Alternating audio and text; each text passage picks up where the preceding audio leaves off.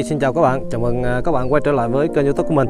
Lại là mình à, Cường đến các bạn. Trong à, clip này mình sẽ điểm qua một cái số nguyên nhân khiến cho cái máy nó không hoạt động được. Thì đây là cái máy bơm xăng nha các bạn, bơm nước, tát nước ao, tát nước ruộng, chạy bằng xăng, động cơ 4 thì, giống như động cơ xe máy.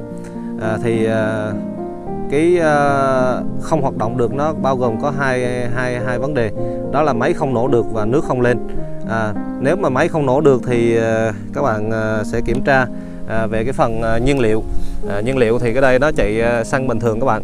À, xăng đây là cái bình chứa xăng nha à, à, chứa được thể tích của nó là 3,6 lít à, thì nói chung là xăng các bạn à, có thể là chạy à, xăng à, sinh học E5 hoặc là xăng 92 hoặc là xăng 95 vân vân thì nói chung là xăng nào mà xe máy chạy được thì cái máy này nó đều chạy được.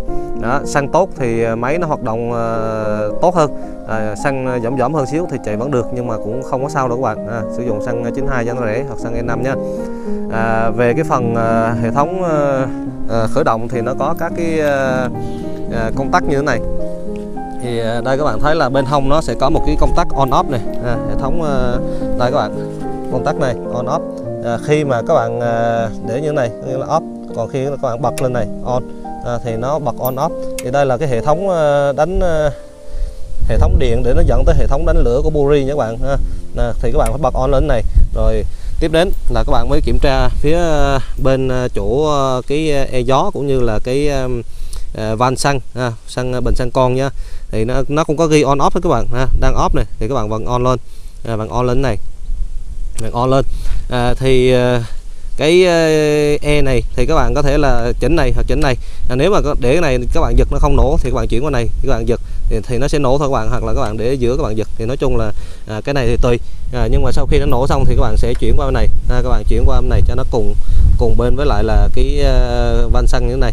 Đó thì ờ, các bạn kiểm tra hết đó có nghĩa là cái van xăng mở à, cái này ờ, thì lúc giật thì các bạn chưa thể chỉnh qua lại nhưng mà sau khi nổ rồi thì các bạn chỉnh qua này.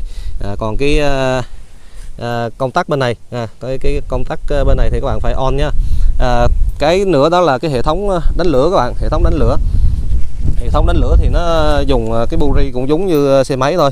Thì các bạn kiểm tra à, nếu mà các bạn sử dụng à, lâu ngày á, thì cái buri nó sẽ bám bụi bám đồn vân thì các bạn sẽ tháo ra vệ sinh. À, còn nếu mà một thời gian các bạn sử dụng cái buri nó hư á, thì các bạn có thể là à, hướng tới cái à, hướng giải quyết đó là thay cái buri mới. Thì cái này hoàn toàn là đem ra thợ xe máy là đều có hết nha các bạn. À, tại vì cái động cơ nó động cơ xe máy. À, rồi ok thì nó chỉ có nhiêu đó thôi.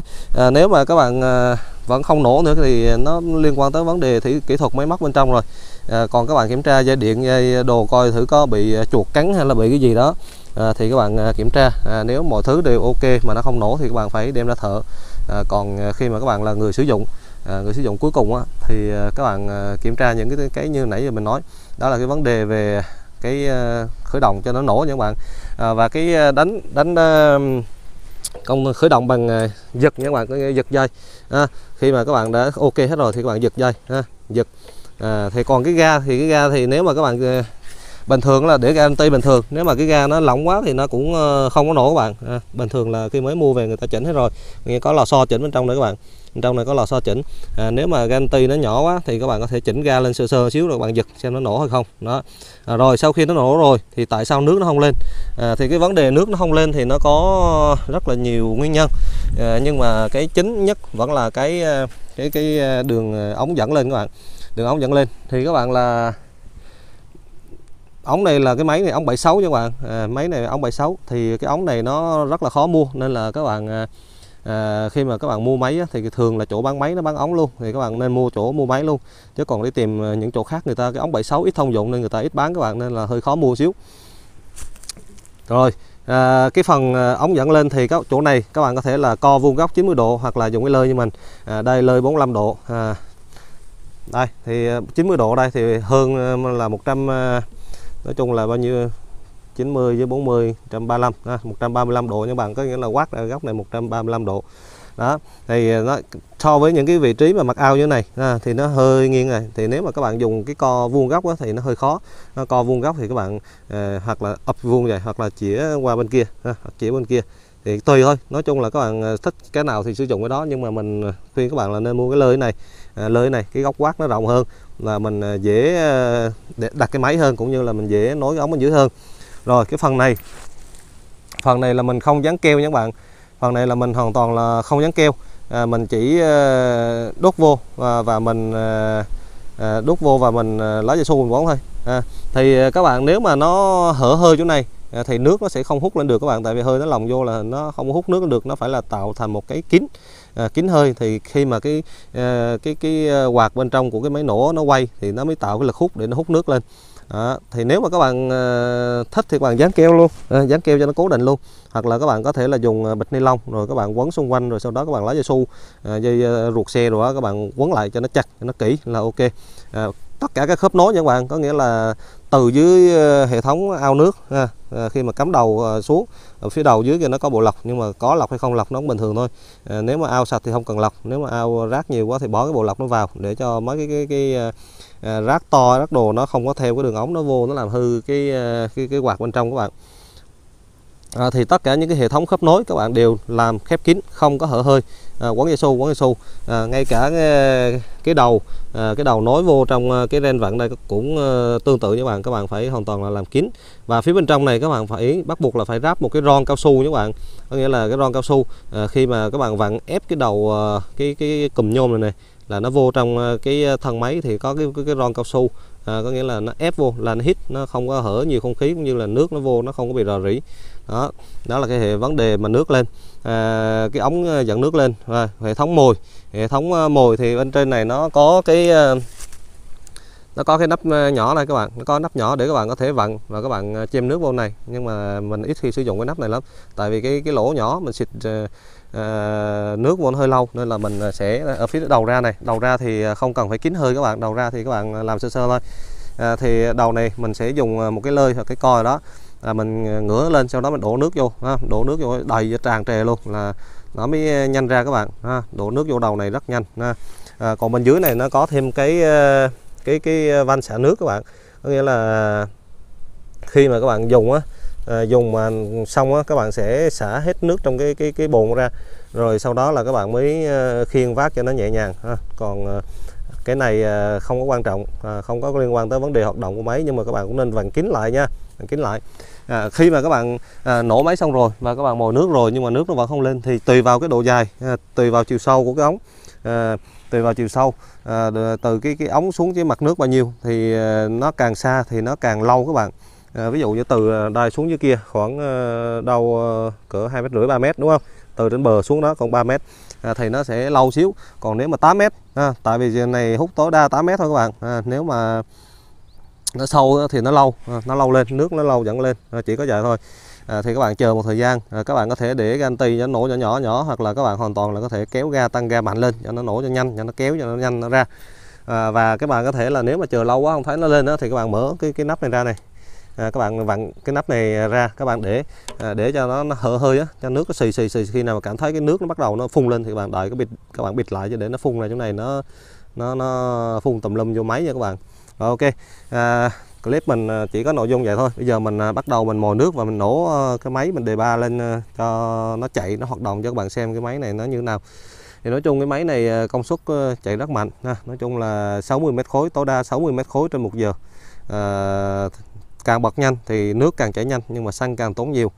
Ờ, thì mình bơm ruộng mình toàn để ganti chạy mức tối thiểu à, nổ chậm nhỏ nhất à, chạy chậm nhất để cho chạy từ từ từ từ để cho ruộng nó thấm các bạn. Nếu mà xịt nhanh quá thì ruộng nó chưa kịp thấm mà nó tràn bờ nó chảy lung tung á. Nên là lúc nào mình cũng để chậm chậm thôi. Thì mình canh thì khoảng cỡ 2 tiếng hai tiếng rưỡi gì đó là chạy đầy một xào ruộng để ganti nhé các bạn một xào một nghìn mét vuông nha rồi ok. À, thì cũng cái này cũng hên xui tại tùy vào vị trí đất nó rút nhanh hay không nữa. Nếu mà đất nó rút chậm Ờ, thì bơm nó nhanh đầy còn đốc rút nhanh thì bơm nó lâu. Nó chỉ có vậy thôi. Ờ, một tiếng thì ờ, mình chạy một tiếng cỡ 20 nghìn xăng các bạn cỡ một tiếng một lít xăng. Còn chưa tới lít chưa tới lít đâu nha. Nói chung là mình đổ đà, chưa đầy cái bình này mình đổ cỡ chừng hai lít rưỡi xăng. Thì có thể là chạy 4 5 tiếng các bạn. Đó chạy rất nhiều nên một tiếng chưa hết lít đâu. Rồi ok bây giờ mình sẽ mồi nước mà mình nổ máy cho các bạn xem thử nha. Mình đổ vô đây đổ nước vô đây. Thì ờ, sau khi ờ, sau khi các bạn ờ, đề máy cho nó nổ lên đó thì nó sẽ có cái hơi cánh quạt bên trong của cái cái cái cái bơm này này nó sẽ quay nó quay nó tạo cái lực đẩy là nước nó bắt đầu nó rỉ rỉ rỉ rỉ rỉ đẩy đẩy đẩy ra. Cho tới một cái thời gian là nước bên dưới nó hút lên cho đầy hết cái ống dẫn thì là nước nó mới bắt đầu nó xì ra nhé các bạn nước nó bắt đầu nó phun ra mạnh. Đó, bây giờ mình sẽ tháo thử cái nắp để mồi nước bên trên cho các bạn xem. Thì nó mình thấy nó sắp ra này nó có hơi đẩy này nó sắp ra rồi đó. Đây các bạn có thể tháo cái ờ, nắp trên này.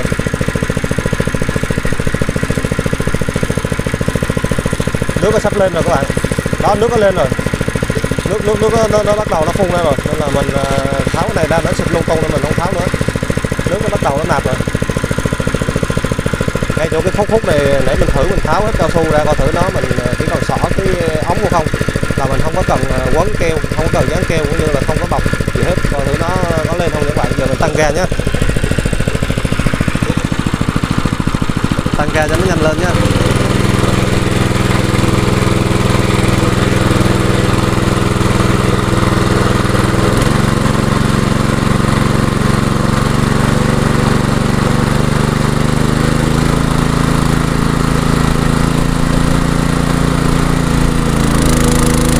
Đó các bạn thấy không? Tăng ga là nước nó ra rất là mạnh Nước nó phun rất mạnh nha Cái đây là maximum ga này Maximum ga nha Máy sắp lọt ao luôn các bạn ơi Wow, wow, wow, wow.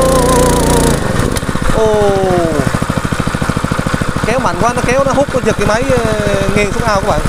Nên là mình ờ, để ga nhỏ nhỏ nhỏ nhỏ thôi chứ còn ờ, tăng ga mạnh quá nguy hiểm nha. Nói chung là nếu mà tăng ga mạnh á, thì các bạn phải có cái gì các bạn cố định cái máy lại. Chứ còn nếu không là cái lực hút bên dưới nó lên mạnh á, là nó kéo ngược cái cái máy đẩy ha. bên trên là lực đẩy nó đẩy à, là nó đẩy lùi cái máy lại rất là nguy hiểm nha. Nó rớt cái máy xuống xuống nước là xong luôn á. Bây giờ mình sửa lại xong rồi mình nối cái hệ thống ống rồi mình bơm À, nước ruộng nha các bạn. Rồi, ok các bạn ơi, mình à, vừa mới à, đấu nối xong cái hệ thống đường dây dẫn nha, để bơm tác tát từ tác tát nước từ dưới ao lên cái đám ruộng của mình. Thì nói chung là cái máy bơm này nó cũng dễ sử dụng cái máy bơm cái máy tắt nước chạy xăng này rất dễ sử dụng nha. Thì cái động cơ nó giống cái chân xe máy thôi. Nếu mà Ờ, các bạn sau khi mà xem clip này các bạn xem lại kỹ. Nếu mà nước nó mà không lên à, hoặc là máy không nổ thì ờ, máy không nổ thì các bạn phải đem ra thợ xử lý. À, nếu mà các bạn làm đúng kỹ thuật hết đúng ờ, bài bản hết thì các bạn phải đem ra thợ xử lý. À, nhưng mà nếu mà các bạn làm chưa đúng thì có thể nhờ người. À, còn về cái vấn đề mà nước nó không lên thì dễ xử lý hơn là so với là máy không nổ nha các bạn. Nước không lên nó chỉ có cái guồng quay để cho nó đợi nước lên thôi. À, thì các bạn à, dán cho nó thật kỹ thì ngay chỗ cái đường ống dẫn lúc đầu mình nói là phải dán kỹ à, hoặc là các bạn quấn à, quấn ni lông nha. À, quấn ni lông rồi các bạn lấy dây su các bạn buộc. Cho nếu mà nó hở thì cái quá trình hút lên đó, nó có không khí nó nó nó, nó vào đó, thì nó sẽ à, tốn xăng à, nước nó lên chậm hơn. À, nó phải kín thì nước nó mới chạy đúng công suất của nó. À, và khi mà các bạn nếu mà các bạn không có dán và không quấn keo không không quấn cao su á thì khi mà các bạn tắt á, thì nước nó sẽ hút chạy ngược xuống lại thông qua cái đường hơi á, nước nó lại thụt xuống lại dưới ờ, cái ao thì nó sẽ hút à, thì ờ, khi mà các bạn khởi động lại lần sau thì nó chậm hơn.